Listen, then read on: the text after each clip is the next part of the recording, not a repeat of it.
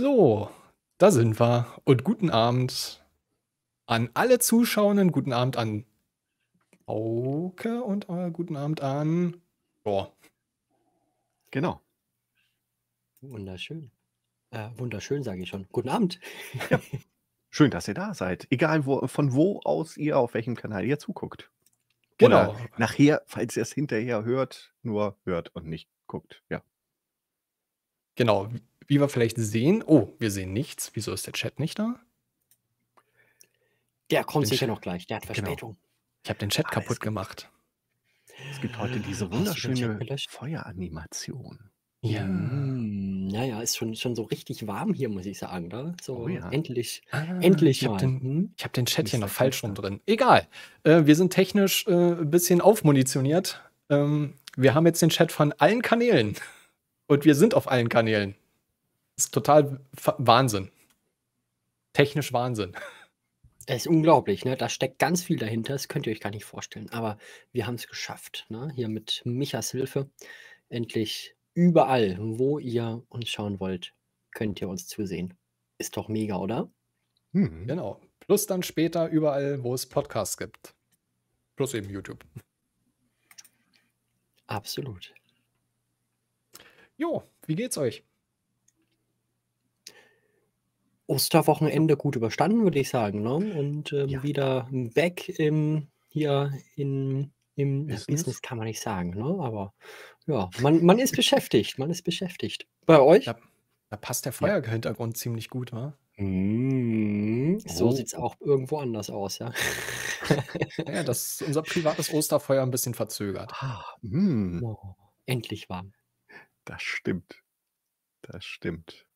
Schon alleine vom Zugucken wird einem warm. Das wäre eigentlich ideal für die kältere Jahreszeit. Aber wir haben ja heute äh, ein bisschen was vor. Erstmal wollten wir uns so ein bisschen allgemein über Firewalls unterhalten und in, über Intrusion Detection und sowas alles.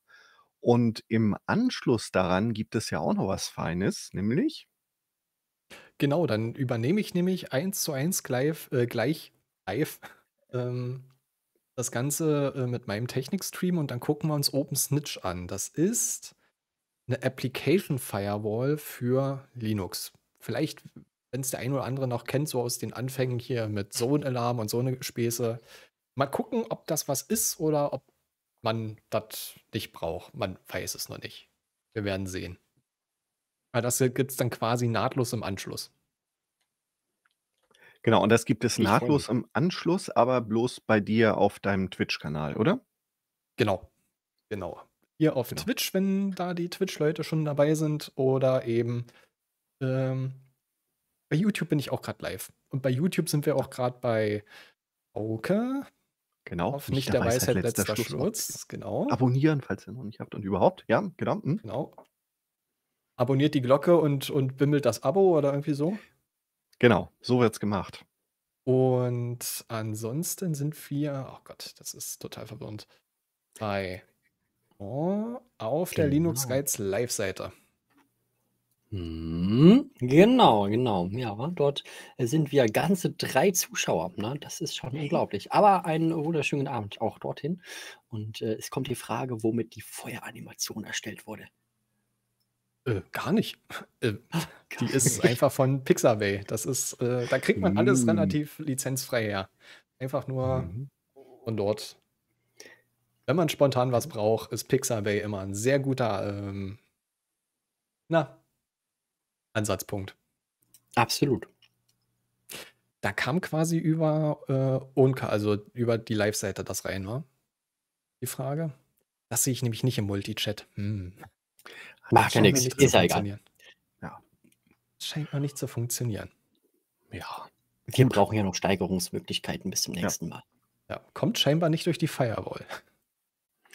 Durch die Firewall, das ist ja ein super, ein, eine super Überleitung zum Thema, ne? Die sind so brutal, ich weiß.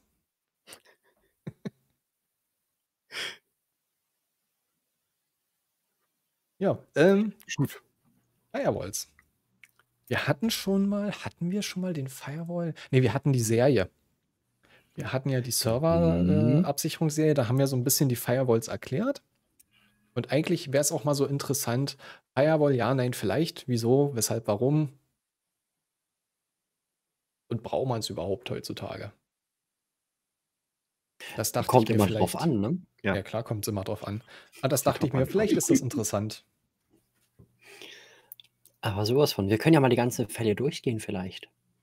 Ne? Also, wo man Firewalls einsetzen kann. Ne? Einmal, ich würde mal sagen, lassen wir uns doch mit dem Thema starten, ähm, was uns alle auf jeden Fall betrifft, auch wahrscheinlich alle Zuhörer, und zwar auf dem eigenen Rechner. Ne? Ob man da eine Firewall braucht, wie man die vielleicht auch einstellen sollte. Ne?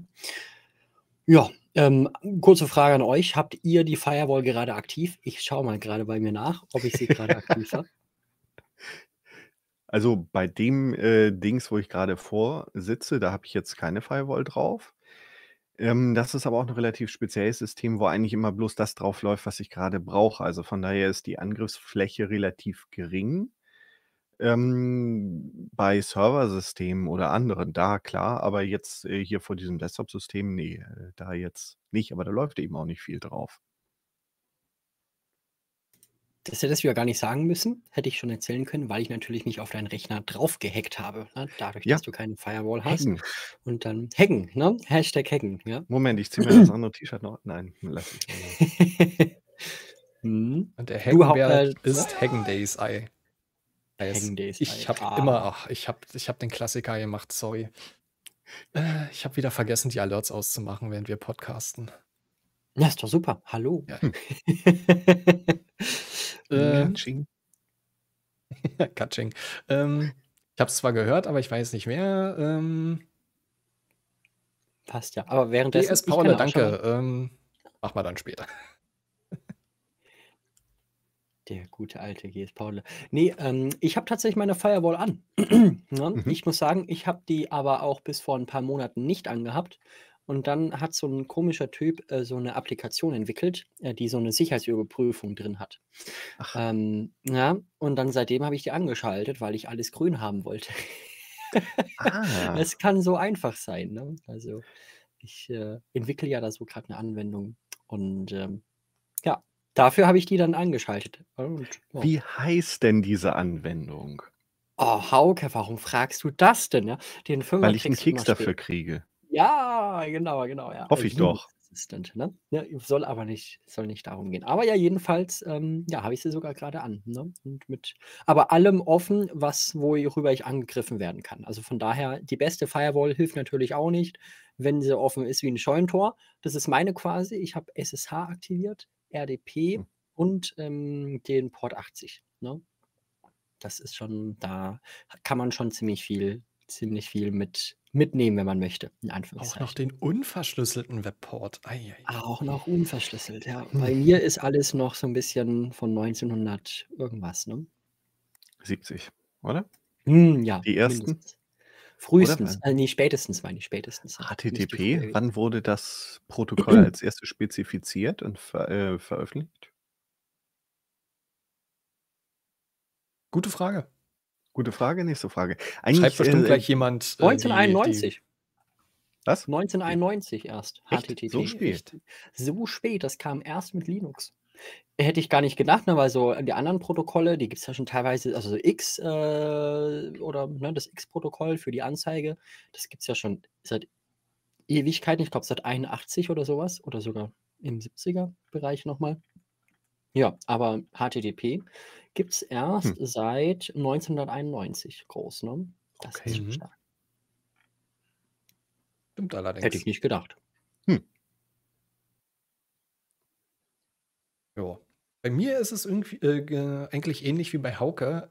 Hier an der Maschine, wo ich gerade bin, ähm, ist die Firewall aus. Dafür auf dem Server bei mir ist sie an. Hat aber den Sinn, es ist wieder soweit, Hauke. Es ist soweit. Der Störenfried ist wieder da. Der hat schon wieder seine Zeit erwischt. Man hat es hoffentlich nicht gehört. Nur Hauke weiß, von was ich rede. Das ist auch gut so. Ich habe hier mal so einen verrückten Moped-Fahrer, der immer um, irgendwie um die Zeit vorbeikommt und denkt, der müsste mal einen Gang runterschalten und aufreißen. Echt? Ja. Also, ich habe es ich habe es nicht gehört. Also, vielleicht hast du dein Mikrofon jetzt anders eingestellt. Ja, Gott sei Ja, Dank. also Es wir haben ist wir haben Wir haben ihn schon vermisst. Ja, ne, Aber tatsäch äh, ja. er fährt noch. Das Er das ist 'n fährt gutes noch. Zeichen. Er fährt noch. Ah, schön. Ja, aber wenigstens, ähm, geht es dir so. Ähm, uns ging's mal während der Dienstag-Livestreams ähm, hatten wir mal 'ne Zeit lang immer 'ne Demo um die Zeit, die an meinem Haus vorbei ist, ne, mit richtig, Mhm. richtig schön laut, ne? Au immer Ja. um die gleiche Zeit, ne, so irgendwie 3, 4 Mal hintereinander. Das war auch sehr erfrischend, ne, für alle Beteiligten. Das haben Ja, die das macht extra dann gemacht. Spaß. Ja. Mhm, absolut. geguckt: „Ah, da wohnt doch dieser.“ So. Dieser Noch ein YouTuber. Der YouTuber mit der. Tuba Ja, und, der äh Tuba. Mhm, ja, ja, mhm.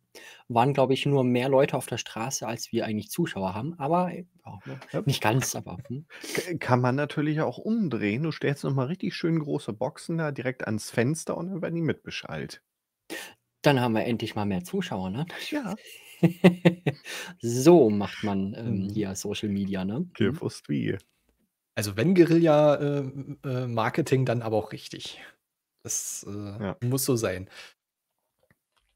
Ne, ich habe die Firewall nicht an, weil ich hier relativ viel mit Podman-Containern unterwegs bin durch das Distrobox. Und da ja Podman-Container nicht selbstständig die Firewall-Regeln setzen und ich das grundsätzlich immer vergesse, ähm, ja, ist es aus. Ja. Ich ich vertraue da noch meinem Router und dem Rest, was hier so rumsteht. In der Hoffnung, dass nie was schief geht. Und damit hast du eigentlich 'ne perfekte Überleitung geschafft, oder? Hardware-Firewall Router. Richtung Router oder Oh. Ähnlichem? Hätte ich fast gesagt, ja. oder? Ja.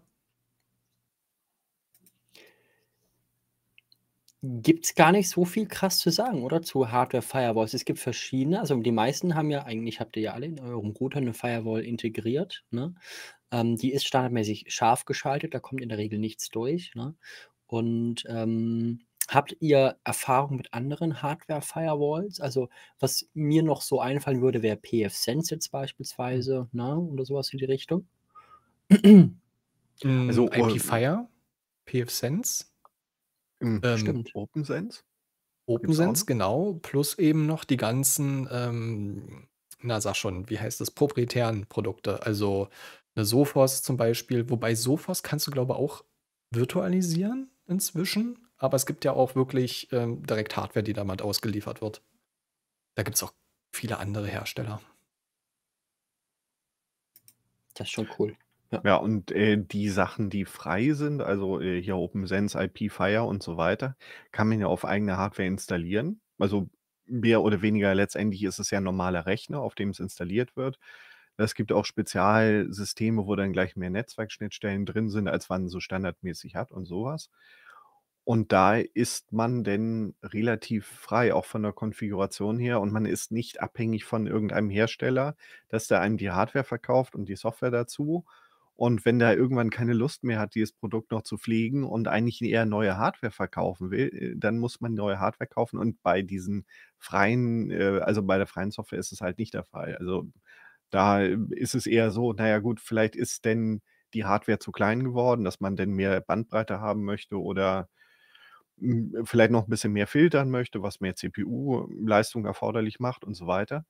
Also, ja, das sind noch mal so die Unterschiede dabei. Aber das ist ja nicht das, was, ähm, man auf demselben Rechner installiert, wie hier UFW hatten wir doch eins von den Videos, ne? Ja.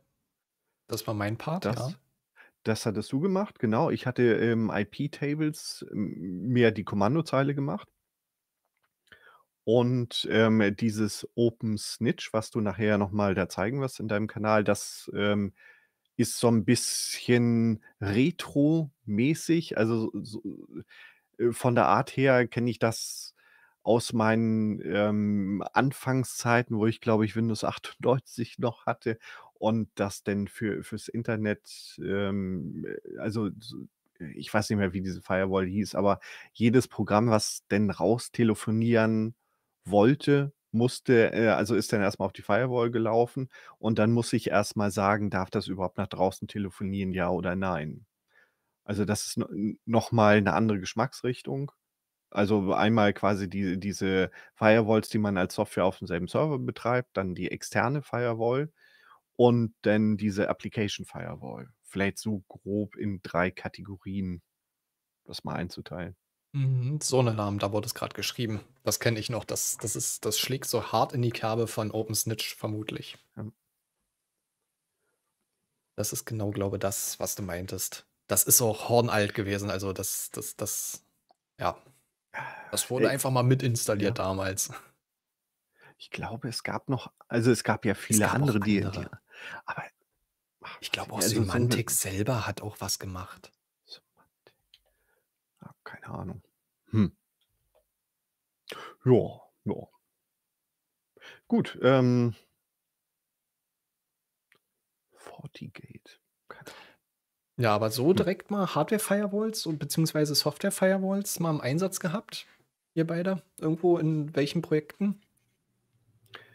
Also in äh, Projekten ja, also äh, OpenSense ähm, habe ich auch virtualisiert bei mir mal, um so eine Umgebung nachzustellen, äh, verwendet. Ähm, aber dass ich jetzt einen richtigen eigenen Server hätte, der, äh, wo, wo dann OpenSense oder irgendwas anderes drauf läuft, äh, das habe ich insofern nicht. Also ich habe da ein bisschen was, wo, wo IP-Tables-Regeln drauf laufen, aber nicht dieses ähm, große System mit Web-Oberfläche, wo man ganz, ganz viel einstellen kann. Äh, Da habe ich nicht, also ich habe nicht so wirklich den Bedarf dafür. Also dafür habe ich zu wenig System hier gleichzeitig dran und überhaupt. Von daher ist das bei mir deutlich simpler und da komme ich mit, ja, sagen wir mal, äh, zwei Händen voll IP-Tables-Regeln eigentlich hin. Und damit bin ich damit durch. Ähm, kann ich mich fast so anschließen tatsächlich. Also, ähm, ich finde, die Hardware-Firewalls sind manchmal ein ziemlich großer Overkill, ne? In der Regel, ähm, also ich mir reicht eigentlich in der Regel das, äh, der Server selber, wo UEFI beispielsweise drauf läuft und wenn ich dann beispielsweise dann noch mal, ähm, 'n paar mehr Systeme dahinter habe, dann mache ich das in der Regel einfach nur über einen ganz einfachen Reverse Proxy. Der hat dann sowieso nur seine ganz wenigen Ports offen, im, ähm, besten Fall nur 443 äh, sozusagen, also für HTTPS. Und dann reicht das in der Regel eigentlich auch schon. Ähm, und äh, dann kommt da der Rest auch nicht mehr durch. Aber ähm, ich denke, für größere Netzwerke ähm, kann das dann auch jeden Fall dann schon interessant sein. Ne? Habe ich aber persönlich auch nicht den Bedarf für. Ne? Ich selber bin froh, wenn ich mit UFW gut umgehen kann, ne? IP-Tables. Ja, muss ich noch mal unser Video anschauen von vor ja, fast 2 Jahren jetzt schon, glaube ich. 1,5 Jahren könnten es jetzt schon gut sein, Ja, ja. anderthalb müsste es sein. 1,5 ungefähr, ne? Die Zeit vergeht unglaublich. Ähm, kann man fast hier 'n Reboot machen, ne? Ja, ne? Hat sich so Hm. viel verändert. Ähm, und, ähm, von daher reicht mir eigentlich das, was so das normale Linux mit sich bringt, ähm, weil ich glaube, solange du jetzt nicht kompletten Müll machst, hast du ganz andere Probleme, glaube ich, am Ende in der Sicherheit. Am Ende ich finde, die Aktualität deiner Anwendung ist am Ende, glaube ich, viel, viel wichtiger, als dass jetzt die Firewall-Regeln zu 1000% korrekt sind. In der Regel kannst du da auch nicht viel falsch machen. Aber vielleicht bin ich da auch einfach, hm, der falsche Ansprechpartner, wenn's dann in Richtung große Netzwerke geht, ne? Da habe ich auch einfach dann zu wenig, ähm, mitgemacht bis jetzt. Wer weiß, vielleicht kommt es in der Zukunft. Mhm. Wie Also bei ich dir habe aus? ich habe mal versucht, bei mir hier im heimischen Homelab 'ne IP-Fire zu integrieren, auf'm Raspberry Pi ausgerollt. Da musste ich aber dann extra Switch und alles und das ist dann so aufwendig gewesen für eigentlich nur mal so 'n bisschen rumexperimentieren. Ich habe es dann gelassen, weil ich hätte dann das komplette heimische Netzwerk hier komplett umstrukturieren müssen. Hm, habe ich jetzt nicht so gefühlt, wenn ich ehrlich bin. Nachvollziehbar. Ja, Ja. also dann doch lieber wirklich sinnige, ähm, Firewall-Richtlinien auf den Servern haben und dann passt das hoffentlich schon. Ja. Absolut. So, ähm, was ja noch über das hinausgeht, was was wir jetzt hier eigentlich grob besprochen haben, da geht es darum, um einzelne Ports freizugeben. Also, dass man jetzt hier sagt 443 für HTTPS, das äh, das darf dann irgendwie durch, andere Sachen werden dann vielleicht zugemacht. Aber es gibt ja auch Firewalls, die in die einzelnen Pakete reingucken, also in diese TCP/IP-Pakete. Äh, und wenn die auch noch verschlüsselt sind, dann wird dann je nachdem, äh, auch versucht, diese Verschlüsselung dann aufzumachen, reinzugucken, ob da irgendwie gefährliche Sachen drin sind. So was gibt es ja auch noch. Äh, und, ähm, ja, das geht, äh, denke ich mal, über das hinaus, was man so im Heimbereich hat. Aber bei einigen Firmen wird sowas durchaus eingesetzt. Also, da wird denn versucht, innerhalb von diesen Datenpaketen alles Mögliche zu erkennen, ob das jetzt noch äh, nun Viren, Trojaner oder sonst irgendwas ist oder auch ganz allgemeine Angriffsmuster, die äh, sich heuristisch erkennen lassen oder sonst wie. Und dass es dann ab, äh, die, die Verbindung vielleicht sofort beendet wird oder sonst irgendwas. Das, das gibt es auch nochmal. Ich weiß nicht, ist sowas in OpenSense auch drin? Oder in PFSense, IPFire? Ich weiß es nicht. War nie Bei, meine I- Baustelle. bei IPFire ist es nicht drin. Ich weiß auch gar nicht, ob man es über die Hm. Add-ons installieren könnte. Sowas ähnliches. Bei den anderen beiden kann ich es dir nicht sagen. Hatte ich noch nicht wirklich am Wickel. Also Aber, Stichwort äh, Deep Package Inspection, ne? mhm. Ja. ja, ist es. Äh, bei IPFire oder was meint? Ach, bei OpenSense. Ha, Achso, die ah, okay. Macht, Ja. die Macht des Chats. ja, das ist super, ne? Das ist Man cool, braucht bloß ne? mal ein Mhm. Stichwort reinzuschmeißen und schon, ne? Ja, Absolut. Ja. Wie. ChatGPT bloß anders. Ja. Schwarmintelligenz. Ja, genau. Absolut, absolut. Wollen wir vielleicht noch so ein paar in die Richtung Best Practices gehen, was man, was wir vielleicht empfehlen können den anderen, dass die vielleicht ein, äh, vielleicht ein weniger ähm, Fallen am Ende reinlaufen oder vielleicht äh, ja so ein bisschen abkürzen können. Worauf möchtest du genau Ne? hinaus?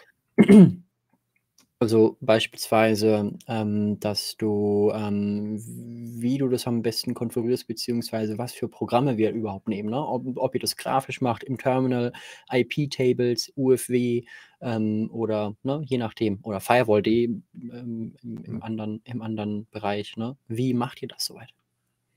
Wie verwaltet ihr eure Firewalls, wenn ihr die, die nutzt? Ja, also bei, bei mir ist es ja wirklich relativ einfach. Und wenn, äh, also äh, diese IP-Tables-Regeln, die, ähm, äh, die setze ich einmal auf der Kommandozeile und dann gucke ich, ob es das tut, was ich will.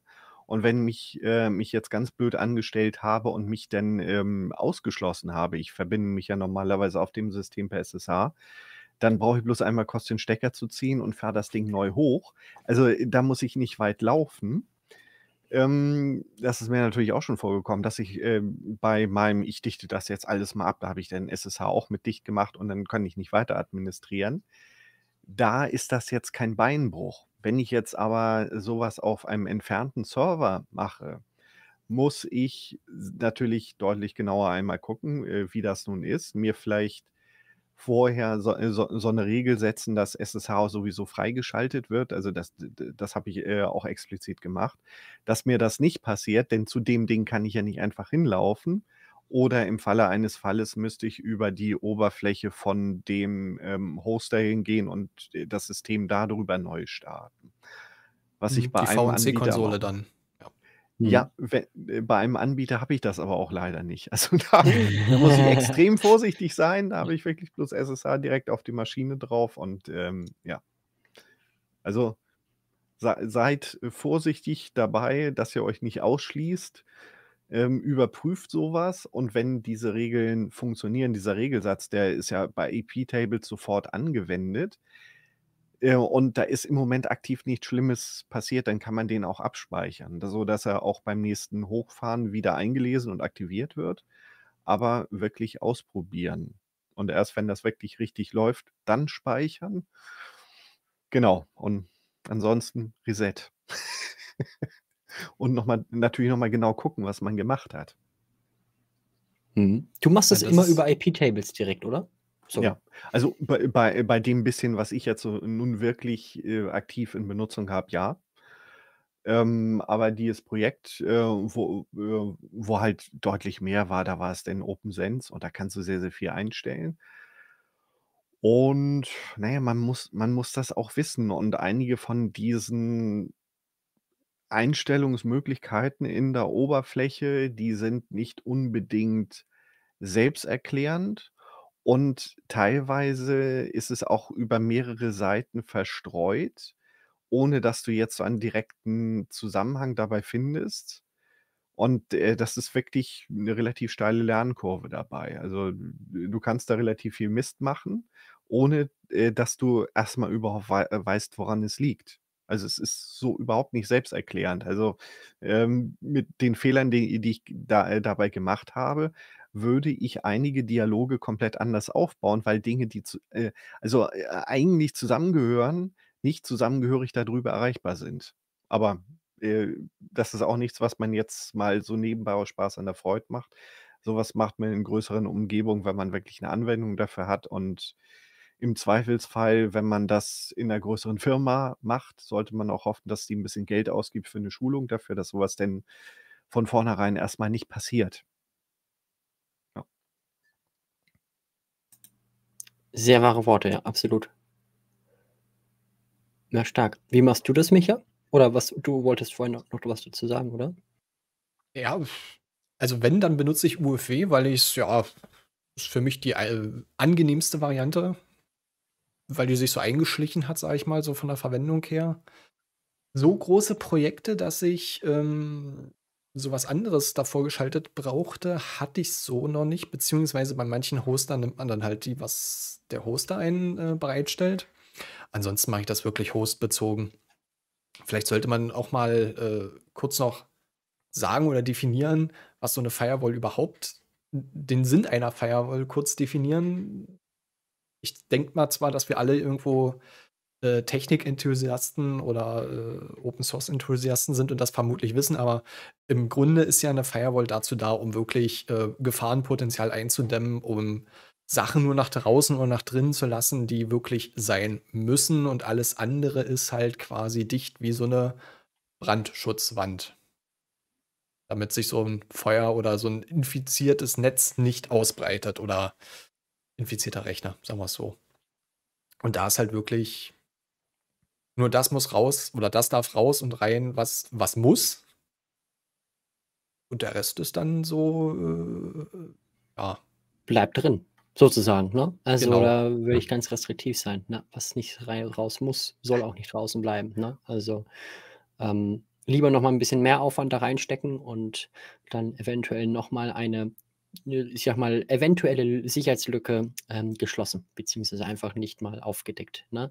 Ähm, man weiß ja nicht, wo überall Sicherheitslücken schlummern, ne? Das ist ja auch so die Sache. Also, man findet ja immer mal wieder, ähm, sehr krasse, ähm, würde ich sagen, Sicherheitslücken und von daher ist es schon wichtig, dass man da vielleicht wirklich die Minimalismus-Strategie in der Hinsicht vielleicht anwendet, ne? Genau. UFW ist, äh, das äh, die Sache, womit man ja, womit ich auch arbeite. Also, IP-Tables ist so 'ne Sache, weiß ich nicht, ne? Bin ich wahrscheinlich, ähm Hm. habe ich bis jetzt noch nie gemacht und ihr kennt ihr kennt das Sprichwort ja: „Was der Bauer nicht kennt“, ne? Ähm, ist wahrscheinlich auch super. Für mich für mich taugt das, was ich da aktuell nutze und, ähm, ansonsten zum, ähm ja, zum Bearbeiten nehme ich sogar auch nur ganz ganz entspannt GUFW, also das grafische, ähm, UFW. Das ist die ganz normale Firewall-App auf Ubuntu und Linux Mint und so weiter. Ähm, oder halt eben im Server auch nur UEFW, ne? Reicht, ne? Ja, So weit. das hätte ich Und dich nämlich jetzt ja. gefragt, was denn, äh, Mhm. was dein Lieblings davon oder deine Lieblings, ähm. Administrationsmöglichkeit davon ist. Ja, ach so, ja, ja. Aber eigentlich gehe ich über 'n Server habe ich immer XRD oder RDP offen, ja, das Remote Desktop Protokoll, nur dass ich dann GUFW verwenden kann, ne? Ganz klar, ne? Ne, ähm, und, äh, somit, äh, bin ich da eigentlich ziemlich gut ähm, fahre ich ziemlich gut, ne? Braucht man nicht mehr. Ansonsten gibt's ja auch noch ganz viele verschiedene Web-Interfaces, beispielsweise Cockpit oder ich weiß nicht, ob das PHP-MyAdmin auch kann. Vielleicht auch, weiß ich gar nicht, kennt ihr vielleicht besser. Ähm, aber gibt's ja noch viele verschiedene, ähm, Anwendungen, Webanwendungen, die dann aufm Linux so laufen, wenn man möchte, ähm, die wo man das dann auch einstellen kann, ne? Also, ich glaube, wir können eigentlich auch mal 'ne Sendung über Cockpit machen beispielsweise. Finde ich auch 'n sehr unterschätztes Programm oder Weboberfläche, ähm, die ich leider auch selten viel äh, viel zu selten nutze, ne, obwohl sie sehr, sehr, sehr praktisch ist an sehr, sehr vielen Stellen. Habe ich im Mhm. Homelab im Einsatz. Also, das macht Mhm. schon vie macht schon sehr viel her und hat auch sehr viel Möglichkeiten, auch per Default schon. Ich glaube, das riecht nach dem nächsten Podcast-Thema, was wir hier schon rausgefunden haben. Ja, müssen wir mal gucken. Ja. Das, äh, wird dann Mhm. interessant. Administrationspanel, Sinn, Zweck, Unterschiede, Ja. Lebensberechtigung, nicht? ja, nein, vielleicht. Genau, ja. Einfach zum Ankreuzen, ne? Ja. Ähm, da von äh, Bigfoot kommt noch was Gutes dazu. Also, äh, wie, wie ich meinte, mit dem Ausschließen. Er macht das so, dass er so einen äh, Delayed Reboot setzt mit äh, sudo shutdown minus R plus 15 Minuten. Also, wenn er äh, eine Firewall-Regel gesetzt hat, die äh, ihn ausschließt, dann läuft im Hintergrund noch äh, so ein Reboot mit einem Countdown von 15 Minuten. Oder? 15 Minuten? Oder sind das 15 Sekunden? Ich glaube, es sind 15 eher Minuten, 15 15 Minuten. Minuten. Äh, und dann macht das Ding Reset und dann äh, ist er das wieder los. Also das, das ist echt clever. Ne? Da merkt man, der macht sowas äh, häufiger als wir. und Und hat sich natürlich dadurch noch nie ausgesperrt, warum er das macht. Ne? Nein, Spaß. Ja. ja. Sowas macht man höchstens zweimal, wenn man dann, ganz weit fahren muss oder jemanden hinschicken muss. Drück doch mal auf den Knopf. Wenn Remote Hand gut. dann teuer wird. so ein genau. Quatsch. Ja. Ja, kann ganz schnell passieren. Okay, also macht er das mit einem delayeden Reboot. Naja, klar. Clever, clever. Mhm. Und erst dann, wenn alles passt, dann das Ding äh, fest konfigurieren. Freischaltung. Ja. Genau. Aber. Läusel hat äh, auf YouTube gerade auch noch ähm, Fail to Ban mit ins Spiel gebracht. Stimmt. Ja. Ja. Das Äh. hatten wir auch in unserer Serie. Ja, war auch Hab ich das meines. gemacht? Nee, war meins. Du hattest ähm, SSH Guard. Ah, stimmt, hatten wir so. Ja, genau. Okay. So Ja. rum hatten wir es getrennt. Aber die Frage war erstmal, ähm, ob Fail to Ban nur mit installierter und aktivierter UFW funktioniert. Ähm, soweit ich das weiß, nein. Fail to Ban nimmt IP-Tables oder NF-Tables und setzt diese äh, Regelsätze. Bei UFW kommt IP-Tables mit oder NF-Tables. NF-Tables, glaube ich, aktuell. Darüber äh, tut Fail to Ban quasi die Regelsätze machen. Oder die, die Aussperrungsregeln umsetzen, um es mal einzudeutschen. Aber Stark, das ja, ist, absolut. Ja. Aber das ist, finde ich, so die, die ideale Ergänzung. Also Firewall ist für mich so eine Sache, gehört eigentlich zum guten Ton, dass man irgendwo eine gewisse Abschottung hat bei Produktiv- und Testsystemen und, und, und. Aber halt auch ähm, das, was offen ist, noch irgendwo mit einem Intrusion Detection und Prevention System irgendwo noch zusätzlich absichern, weil es nützt ja nichts, wenn der SSH-Port äh, zwar erreichbar ist, aber da seit drei Tagen der Chinese schon mehrfach versucht, sich als Root zu authentifizieren und irgendwann war das raus, vielleicht. Oder irgendjemand anders. Brasilien ist auch relativ ähm, oft jetzt in den Listen ganz oben an, an Angriffen. Frage ich mich, was in Brasilien zurzeit los ist. Die haben zurzeit, geht es bei denen auf den Winter zu, die sind ja Südhalbkugel. Haben sie wieder Zeit, die Leute? Keine Ahnung. Also, Vielleicht, ja. Ja. Nee, Stark. deswegen, also Intrusion Detection und Prevention System dort in, in, in Addition zu dem Ganzen nehmen, das macht dann schon sehr viel Sinn, weil was bringt's euch oder uns, wenn zwar das, was offen sein darf, offen ist, aber nicht weiter dann überwacht wird. Das ist dann so ein bisschen der Gutglaube im Internet, den gibt's nicht. Also muss man ganz klar so definieren. Oder so sagen. Da muss man halt wirklich überwachen und auch wissen, was man tut. Das stimmt. Sowas von. Hm. Ja, äh, was wäre da so, was du nimmst? Nimmst du da Fail to Ban für? Oder? Ich nehme eigentlich meistens Fail to Ben, habe jetzt aber auch ähm, CrowdSec im, im Test. Ist Mhm. eigentlich nichts anderes als auch ein Intrusion Detection und Prevention System. Nur eben ist da äh, einiges schon vordefiniert drin von, von der Community, äh, die dann wirklich ähm, schon vordefinierte Regelsätze und Szenarien oder auch ähm, quasi, ähm, wie heißt das? Locklisten pflegen für gewisse Server-IPs, die einfach bekannt sind für, äh, dass die Quatsch machen. Da ist CrowdSec relativ interessant und ist jetzt auch nicht wirklich schwierig zu installieren. Es gibt ein relativ okayiges Webinterface, wenn man das haben möchte. kann man mal mitnehmen. Also ist nicht schwerer als Fail to Ban. Aber auch da muss man wissen, was man tut. Weil selbst, selbst dem Besten passiert mal äh, Quatsch, nämlich mir. Ich habe ja meinen Server umgezogen, weil ich dachte, dass die Telekom äh, irgendwie das nicht hinkriegt mit ihrer Leitung, warum ich per IPv4 nicht mehr an meinen Server komme.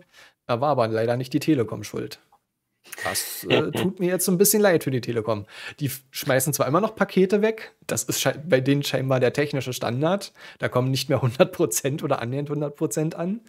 Ähm, aber im Endeffekt war es wirklich das ähm, Fail-to-Band von meiner Mail-Cow, die ich dort mit drauf hatte, mein Mail-Server. Und die ist so krass restriktiv, die tut erstmal alles auf IPv4-Ebene bannen. Deswegen hatte ich äh, das Problem, dass ich da nicht mehr rangekommen bin per IPv4. Musste ich aber auch erstmal rauskriegen. Das ich habe zwar noch nicht rausgefunden, warum ich gebannt wurde. Das, das ist dann so eine, so eine andere ähm, ähm, Such- und Find-Spiel, weil mit äh, Wireshark und TCP-Dump, ich sehe zwar, dass jede Minute sich jemand versucht zu authentifizieren, aber ich weiß aber nicht, wer und welche Anwendung und oder welcher Container. Also da muss ich noch mal Zeit investieren. aber sorry, Telekom, es lag nicht an euch. Mhm. Aber bringt trotzdem die Infrastruktur in Ordnung. Ich hätte gern wieder 100% Pakete, die ankommen. Wäre cool. Mhm. Ja. Ja. Nenn nicht ganz umsonst. Ich habe es nicht ganz umsonst von dir gemacht. Die Infrastruktur ist immer noch ein bisschen wackelig. Portknocking schreibt hier ein noch bisschen. jemand. Ja. ja. Portknocking ist auch so eine feine Sache. Ja. Kannst du das vielleicht mal kurz erklären? Also mir würde da jetzt erstmal nichts dazu sagen. Äh, Portknocking ist eine Möglichkeit, also übersetzt heißt es ja Abklopfen von Ports, wenn du eine gewisse Portreihenfolge quasi per ähm, oder TCP Connection mal kurz aufbaust in einer gewissen Zeit, kannst du im Hintergrund auf dem Host damit ähm, das Öffnen eines Kanals oder eines Dienstes triggern, zum Beispiel SSH per se zu oder ausgeschalten. Und wenn du quasi äh, drei verschiedene Ports an, äh, anklopfst, also an, ja, mal kurz die Verbindung aufbaust, weiß dein Host im Hintergrund, aha, in der Reihenfolge, wenn da jemand kommt, mache ich quasi SSH an, um es mal runterzudampfen aufs Nötigste. Das kannst du relativ äh, flexibel fast mit allen Diensten sogar machen, wenn ich mich nicht irre. Cool. Okay. Wieder was gelernt, ne? Worüber konfigurierst du das? Oh, das ist äh, Host immer, hosttechnisch immer ein bisschen unterschiedlich. Ich glaube auch über, ähm, ja, sag schon, über die IP-Tables gibt es da, glaube ich, eine Regel. Okay. Aber vielleicht kann das der Bigfoot nochmal reinschreiben. Da bin ich mir jetzt nicht hundertprozentig sicher. Ich glaube, mit IP-Tables machst du quasi eine Knocking-Reihenfolge. Und dann macht die IP-Tables das auf. Unlock D gibt es inzwischen. Ich, es gab auch mal eine Variante über IP-Tables, wenn ich mich nicht irre. Knock D. Es gibt für alles ein D, so gefühlt. inzwischen. Der DDoS, die, der ist besonders gut. Ja. Genau. Ja, wäre auch nochmal ein Thema, also vielleicht nicht unbedingt, äh, dass wir einfach mal so äh, drüber reden, sondern wirklich, wo wir auch mal ein bisschen was drüber zeigen. Wie man das wirklich machen kann? Also, mit IP-Tables geht's irgendwie, habe ich gerade hier gefunden. Ah, es gibt bestimmt wieder wahnsinnig viele Möglichkeiten, wie man das noch machen kann. IP-Tables war sogar relativ Oh. kompliziert. Vielleicht ist Hm. sogar inzwischen die die bedienbare Alternative. Also, vielleicht wäre das ja mal was für äh, für deinen Technikstream, dass du denn sowas denn machst. Dann unterhalten wir uns vorher ganz kurz über Portner obwohl so kurz ist es jetzt ja auch schon wieder nicht. Eigentlich wollten wir es ja, äh, äh, kürzer halten und dann, naja, ein bisschen ja, schwerfällig wir sind wir gestartet und, äh, jetzt sind wir immer noch bei. Kriegen wir doch genau. noch hin. Genau. Kriegen wir also doch noch hin, alles gut. Ja.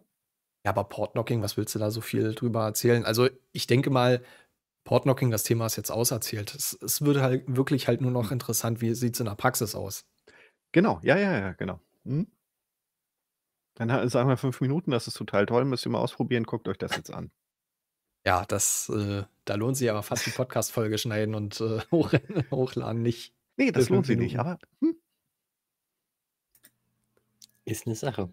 Ja. Aber so in Gänze, Firewall in Ergänzung mit Intrusion Prevention Detection.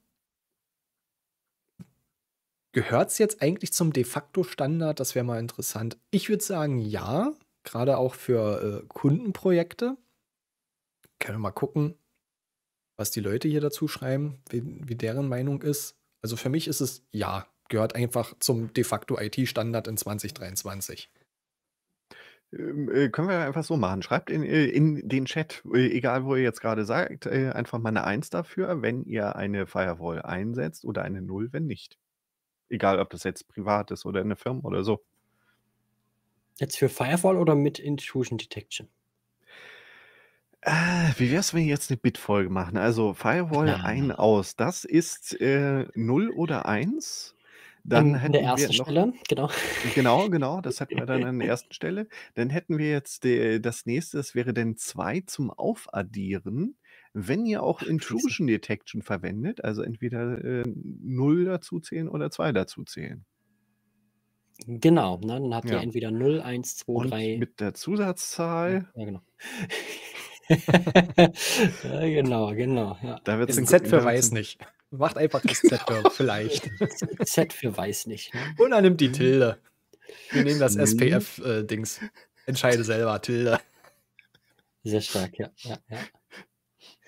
Ne, also hier Intrusion Detection mache ich seltener. Immer mal wieder doch, aber seltener irgendwie. Vielleicht sollte ich das mehr zu meinem Standard dann mit integrieren, ne? Firewall ist klar, aber Intrusion Detection also für für SSH ist es immer mit drauf, ne? Fail2ban installiert ist ein Befehl, aber beispielsweise dann für meine anderen Anwendungen ist das dann noch nicht so drin. Ja, nur installieren stützt dich doch nicht. Du musst doch das Jail definieren. Ja, das stimmt schon, ne? Aber klar, aber, ne, sonst, ja, sehr, sehr wenig, sehr, sehr wenig. Mhm. Also aktuell würde ich sagen, die meisten verwenden irgendeine Firewall und was haben wir da noch? Ja, und wenn es die im Router ist, also irgendwo Ja, ist immer genau. äh, eine Firewall aktiv, Gott sei Dank. Musst du nur kennen Ja. und sich untertan machen. 0011, oh Gott. Das ist dann in Addition 2, wenn wir die Quersumme nehmen. Und das war dann welche Alternative? Die mit Portknocking. Ja. Quatsch.